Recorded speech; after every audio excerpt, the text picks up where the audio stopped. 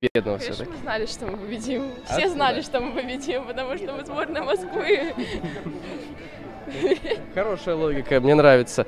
Вчера был драматичнейший четвертьфинал, не могу про это не спросить. Э, Милен и Айзанат фехтовали друг против друга, там было очень все интересно. Как вам сегодня вместе в одной команде? Вот как вы, ну, все-таки простили друг друга, забыли, как вы вместе фехтуете, расскажите. Нормально все, что я не парилась. Мы команда, и ну, как бы это не имеет значения. Что было вчера, то, что остается вчера, а сейчас все хорошо, мы выиграли. В целом, по сегодняшнему дню, можете выделить какую-то вот основную трудность, которая у вас была? Вот что-то не получалось, или какой-то бой с каким-то соперником? Что-нибудь было такое, или все как по маслу шло?